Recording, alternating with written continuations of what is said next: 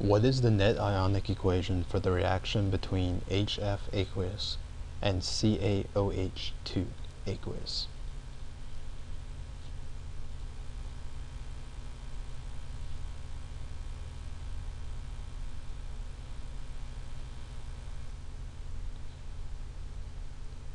When writing the full ionic equation for a reaction, the formulas of strong acids and ionic compounds involved in the reaction are written as formulas of separate ions. This is to reflect the fact that the ions are not paired or clustered in solution.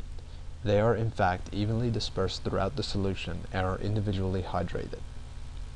If upon writing the full ionic equation we find that nothing actually happened to some of the ions, we call these spectator ions.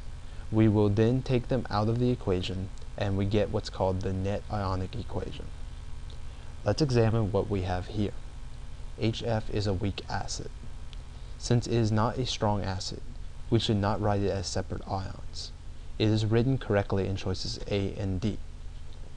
It is not written correctly in choice B. Therefore, choice B is incorrect. Calcium hydroxide is an ionic compound. In aqueous solution, it should be written as separate ions, as in choices B and D. It is not written correctly in choice A. Therefore, choice A is incorrect. Choice C would be the full ionic equation if calcium fluoride were insoluble in water. In other words, it would be the full ionic equation if the calcium and fluoride ions were to remain dissolved. In fact, we know from solubility rules that calcium fluoride is insoluble in water. It will precipitate out, so choice C can't be right. In fact, choice C can't be a net ionic equation anyways, because it includes a spectator ion.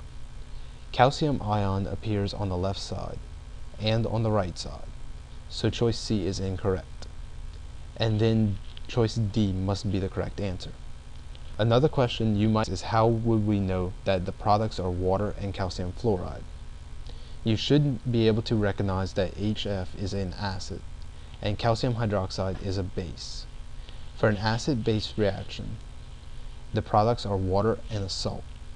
Our salt here is calcium fluoride. The water comes from the combination of hydrogen ions from the acid and hydroxide ions from the base. The salt then comes from the two remaining ions.